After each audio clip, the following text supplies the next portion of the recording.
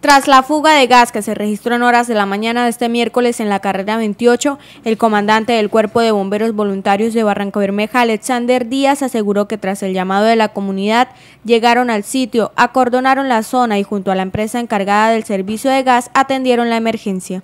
Bueno, pasada las 5 y 30 de la mañana nos informan a nuestra línea eh, activa que tenemos en este momento de un escape de gas sobre la carrera 28 con 45 Inmediatamente desplazamos nuestra máquina, se hace acordonamiento, se hace prevención, ya que eh, hay la fuga de gas en una manguera de tres cuartos.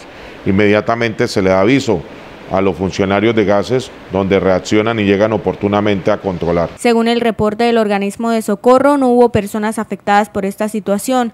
La carrera 28 con 45 tuvo que ser acordonada y los vehículos hacer desvío para evitar que transitaran por la zona de la emergencia. Es el acordonamiento eh, en materia de prevención, ya que evidentemente existe una fuga de gas y los exhaustos de los vehículos, tanto carros como motos, pueden generar un riesgo. Alguna persona que pase eh, con algún cigarrillo puede generar un riesgo, por eso eh, hacemos pues, de manera preventiva el cierre de la vía sobre la carrera 28 para prever y mitigar cualquier incidente que se pueda presentar en este escape de gas. Ante esto, el comandante del Cuerpo de Bomberos Voluntarios de Barranca Bermeja invita a la comunidad a reportar este tipo de casos para que sean atendidos oportunamente. Dos puntos. El primero, que nos den aviso oportuno cuando tengan algún escape de gas eh, a nuestras líneas inmediatamente para poder atender y trabajar articuladamente con el personal de gases. Asimismo, eh, invitar a todas las personas que están haciendo algún tipo de construcción